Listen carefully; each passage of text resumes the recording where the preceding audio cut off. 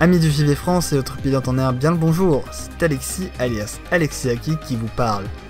Il y a plusieurs semaines, je vous proposais notre premier test d'un accessoire de jeu de course avec le volant CSL Elite Racing Wheel de Fanatec.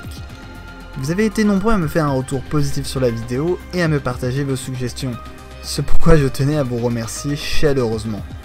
Aujourd'hui, nous allons nous intéresser à un autre type de produit indispensable pour les titres automobiles, que sont les pédaliers. Quelques-uns d'entre vous m'ont en effet demandé quelles seraient les pédales compatibles avec le CSL Elite Racing Wheel. Et c'est un point très important car il faut savoir que le volant n'est compatible qu'avec les pédaliers de Fanatec. Nous sommes encore une fois dans une autre gamme de produits, c'est pour cette raison que le volant n'est pas automatiquement disponible en bundle comme nous pourrions avoir l'habitude. Sur le site du constructeur, il est ainsi bien possible d'acquérir le volant séparément ou bien en pack avec des CSL Elite Pedals. Ces dernières nous ont été fournies par Fanatec avec le supplément Cell Kit permettant d'ajouter une troisième pédale afin d'avoir l'ensemble accélérateur, frein et embrayage. Ce sont les pédales que nous avons d'ailleurs utilisées jusqu'à présent dans nos différents extraits de gameplay. Tout comme le volant, je vous propose de démarrer par un rapide unboxing.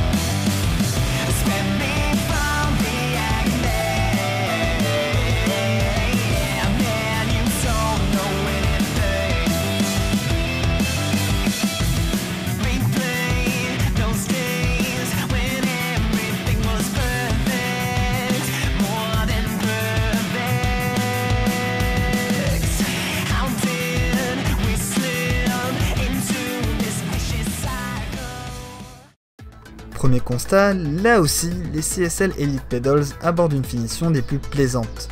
Fabriqué avec un aluminium robuste de couleur noire, le produit se veut sobre mais laisse tout de même facilement des traces, vous invitant ainsi à l'utiliser avec précaution, en chaussettes ou avec des chaussures spécifiques par exemple. Les coussinets sont quant à eux dans un caoutchouc classique, mais cela est bien plus sympathique en termes de design et de confort. De plus, je vous l'ai dit précédemment, Fanatec aime laisser des éléments de personnalisation à ses clients. C'est pourquoi ces mêmes coussinets sont en fait interchangeables, ce qui permet d'avoir donc le choix entre le caoutchouc mais aussi l'antidérapant qui est aussi inclus dans le pack ou rien tout simplement. Pour rester sur l'idée de customisation, il faut savoir que le pédalier est à monter soi-même. Vous l'avez remarqué dans l'unboxing, les packs contiennent des pièces détachées, certes assez embêtant au départ, mais cela est voulu afin de permettre au pilote d'ajuster l'écart entre les pédales ou même la force d'intensité du frein. On sent que le pédalier est léger, expliquant d'ailleurs le fait qu'il est obligatoire de l'attacher à un support ou un cockpit pour l'utiliser, sans quoi vous ne pourrez pas en profiter pleinement. En tout cas, son utilisation est confortable et correspond à ce que nous pouvons attendre de ce type de produit. La matière est particulièrement agréable au toucher. Pour notre part, nous avons rapidement réglé l'intensité du frein, car nous le trouvions trop dur.